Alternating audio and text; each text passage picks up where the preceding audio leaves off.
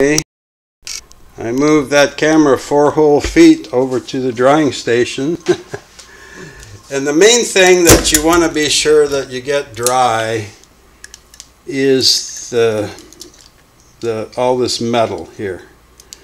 So I just have a $15 hair dryer and I'm going to set it on uh, warm air and uh, and low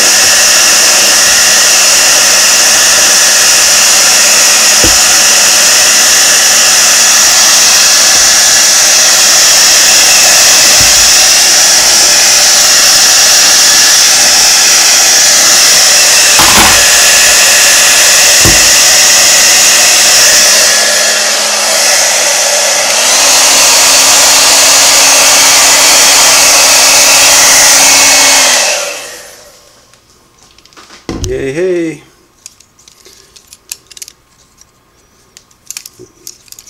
Now, it wasn't that bad to begin with, but man, is it clean and shiny now. That's what we want. So we'll get some fresh oil and grease on here, and it's going to look and operate great. Okay, so we'll go back to the workbench area